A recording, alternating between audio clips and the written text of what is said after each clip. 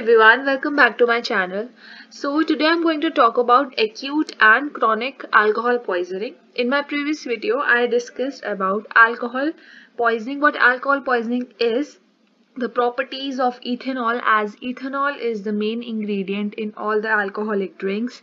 Then I talked about country liquors, action and metabolism and factors affecting absorption rate. All these topics are already covered in the part 1 video of alcohol poisoning. You can check that out if you haven't. I've provided the link in the description box. So in today's video, I'm going to discuss about two types. There are two types of poisoning, acute poisoning and chronic poisoning. So I'll be discussing both in this video and I'll be discussing sign and symptoms of both acute and chronic alcohol poisoning, the treatment, post-mortem findings.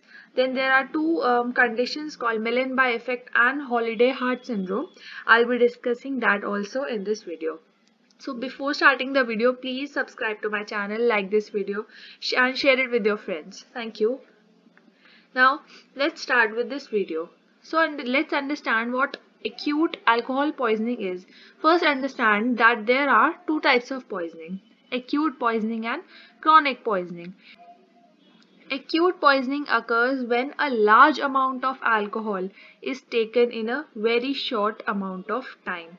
Okay, but in case of chronic poisoning the it is opposite case what happens is we take small small amount of alcohol for a very large amount of time so that is what chronic poisoning is so first we are going to discuss about acute alcohol poisoning so acute alcohol intoxication is a condition associated with drinking too much alcohol in a short amount of time it is also called alcohol poisoning now, alcohol intoxication is a serious problem. It is going to affect your body temperature. Body temperature will be affected as in the temperature will drop. You will be experiencing hypothermia. Then the breathing rate will also decrease. Heart rate will, will also decrease and you will also get to see gag reflex. It can also sometimes lead to coma or death in worst case scenarios. Now, if we talk about the sign and symptoms of acute poisoning, then there are three main stages. First is stage of excitation, second is stage of incoordination and third is stage of coma. So these stages occurs at different blood level concentrations of alcohol. For example, in stage of excitation, the first stage, blood this stage occurs when the blood level concentration of alcohol or the blood alcoholic concentration in in the blood of alcohol is up is uh, ranges is ranged from 50 to 150 mg percentage. So the sign and symptoms of this stage includes euphoria. Uh, euphoria is a, a is a state of mind in which the person is very happy. The person is very excited. He gets the feeling of well-being. So the person is euphoric in the stage of excitation, in the early stage when the person drinks alcohol, when the blood level concentration of alcohol ranges from 50 to 150, that is comparatively low. Then the person under the influence of euphoria may perform dancing carelessly and fearlessly. Now there's a saying called in vino veritas. This means in wine there is truth. This means that when someone drinks wine or some other alcoholic drink, the person is going to spell out his or her truth. So he may disclose his um, secrets, dark secrets that he would not have normally shared with anyone. So in vino veritas means in wine there is truth. The truth will come out when you drink alcoholic drinks. Now, there's also increased confidence but lack in self-control. Now, the person, if you are a shy person and you drink alcohol, then your confidence might increase and you may go and dance. Okay, but there is self-control. You won't be able to have a control over yourself.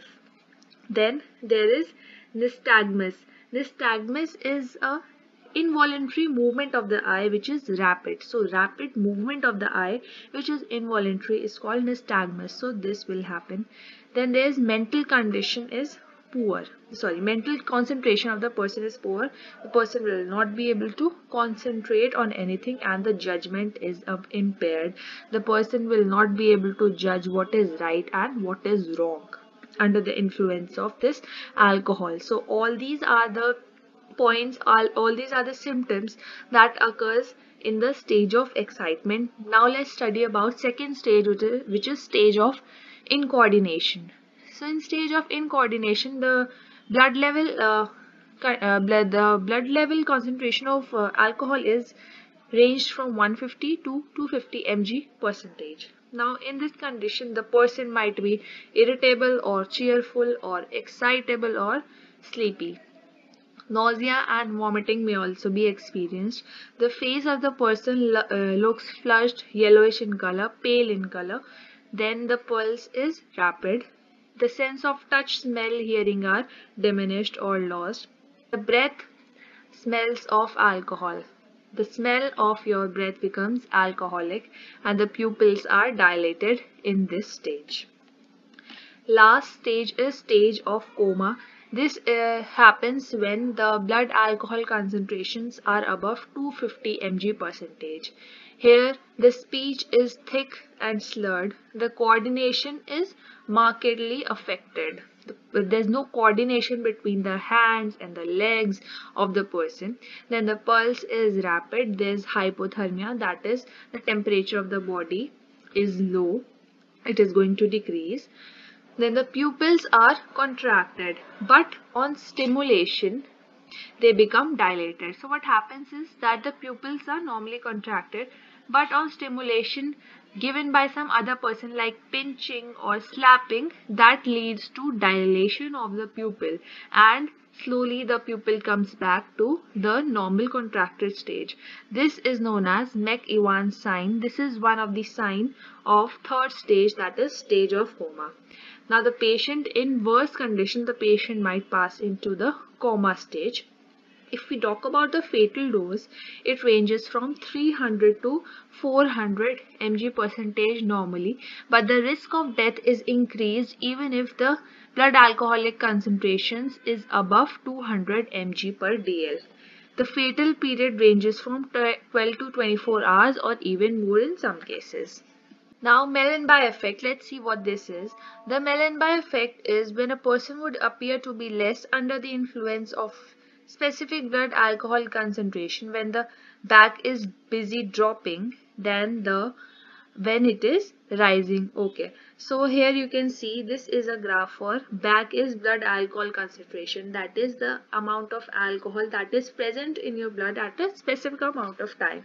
And this is the time okay so when you drink alcohol obviously your blood is going to absorb it. So slowly slowly slowly your blood alcohol concentration is going to increase.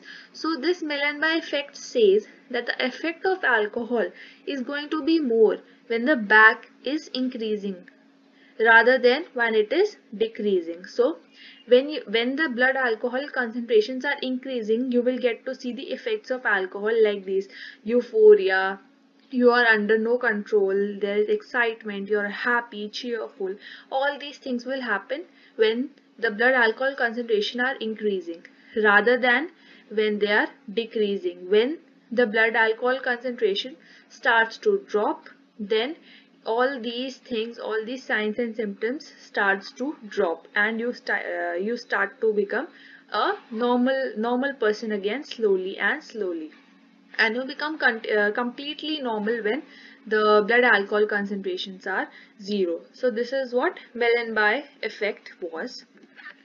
Now if we talk about the treatment then you must try to keep the individual awake. At no point should the person who is under alcohol uh, acute alcohol poisoning should sleep because the chances of getting into a coma will very much increase if the person sleep.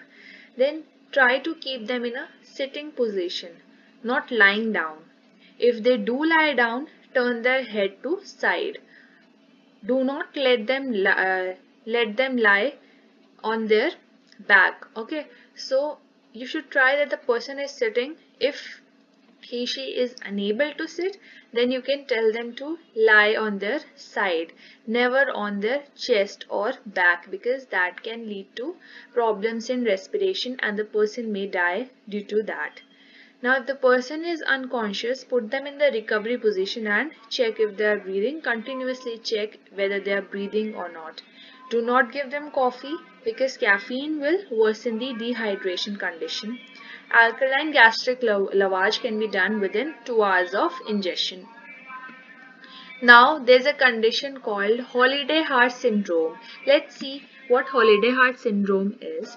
This is basically a cardiac rhythm disturbance and this disturbance is caused due to binge drinking. Binge drinking means eating, uh, drinking a lot of alcohol uh, at the same time. And this commonly occurs on weekends and around holidays. People drink consume a lot of alcohol. So holiday heart syndrome can occur at that time in which what happens is there is atrial fibrillation and ventricular arrhythmias. There is cardiac rhythm disturbance of your heart. The rhythm of your heart is going to become irregular in this syndrome.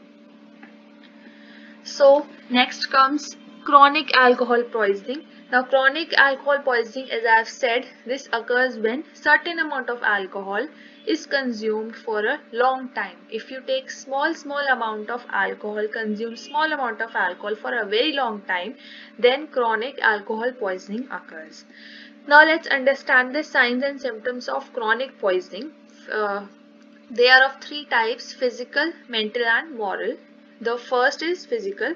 There is poor hygiene. We can get to experience chronic uh, gastroenteritis in which there is, it is like stomach flu. You are going to uh, experience diarrhea, nausea. These all are the symptoms. Uh, some kind of infection, stomach related infection might be there. Then there are fatty changes in liver and heart. Cirrhosis of liver might occur. There are tremors insomnia spelling is correct uh, incorrect insomnia. Then there is redness of eye. So these were the physical signs and symptoms of chronic poisoning. When person takes alcohol on a regular basis for a very long time. Then if we talk about mental signs and symptoms in that include loss of memory impaired power of judgment dementia. If we talk about moral then the the person might uh, commit crime crimes like rape and the person might get suspicious of each and everything around himself. So let's talk about post-mortem findings now. Uh, the there is odor of alcohol uh, around the mouth and the nose of the deceased. Then there's congestion of conjunctiva also seen. Then the rigor mortis is prolonged in this case and also the decomposition is retarded or slow. Then the blood, if we talk about the color of the blood, then it is dark red and the blood is fluid in nature. Then vis uh, viscera is congested and it is going to smell like alcohol. Also there's uh, acute inflammation of the stomach with a layer of mucus coating over it. So these were the post-mortem findings. So this was all about acute and chronic poisoning of alcohol. If you like the video then please like it and subscribe to my channel and share it with your friends as much as you can. Thank you.